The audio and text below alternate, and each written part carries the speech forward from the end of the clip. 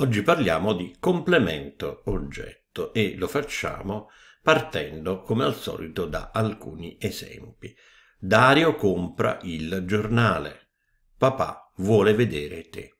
Le parole che abbiamo messo in evidenza in rosso, il giornale e te, rappresentano i termini dove ricade l'azione fatta dal, dal soggetto, nel primo caso Dario, nel secondo il papà, e che transita su un verbo, compra nel primo caso e vuole vedere nel secondo caso.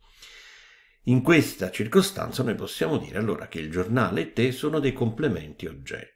Allora proviamo a dare una definizione di complemento oggetto. Il complemento oggetto indica la persona, l'animale o la cosa su cui ricade l'azione del verbo direttamente. Cosa vuol dire direttamente? Specifichiamolo meglio, cioè senza l'aiuto di nessuna preposizione complemento oggetto infatti è eh, un complemento diretto, cioè che si lega direttamente al verbo.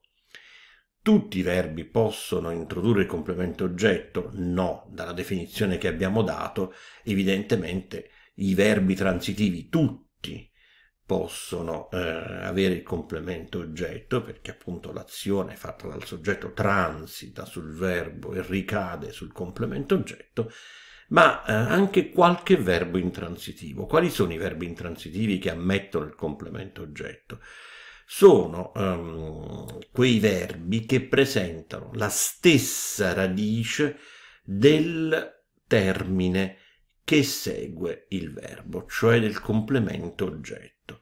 È quello che, mm, senza troppi giri di parole, si può dire l'oggetto interno, cioè complemento oggetto presenta una radice identica a quella del verbo o almeno dello stesso significato. Proviamo a fare degli esempi per chiarire meglio questo secondo concetto.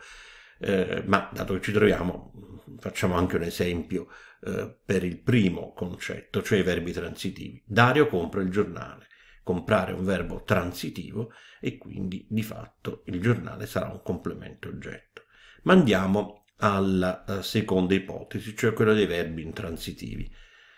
Rita ha vissuto una vita serena. Come vedete, il verbo ha vissuto, quindi vivere, eh, caratterizzato dalla stessa radice del complemento oggetto, vita.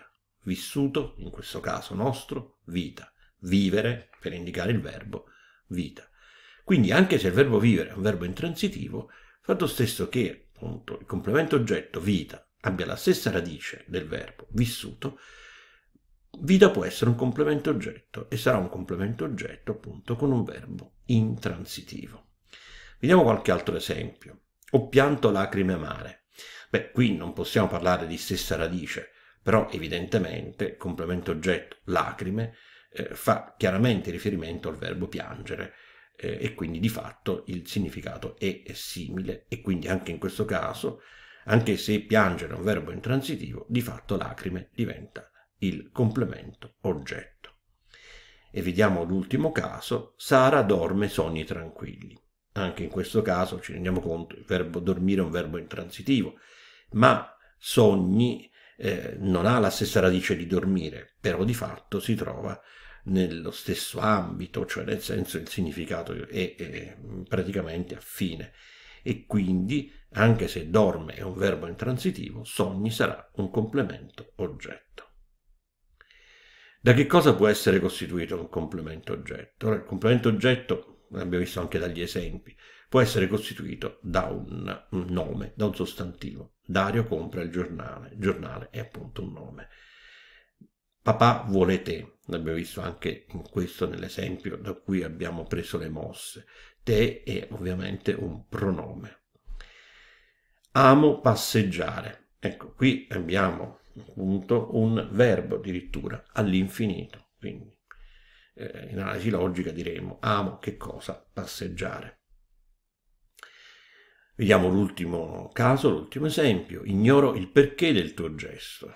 Perché è un complemento oggetto ed è caratterizzato da una congiunzione.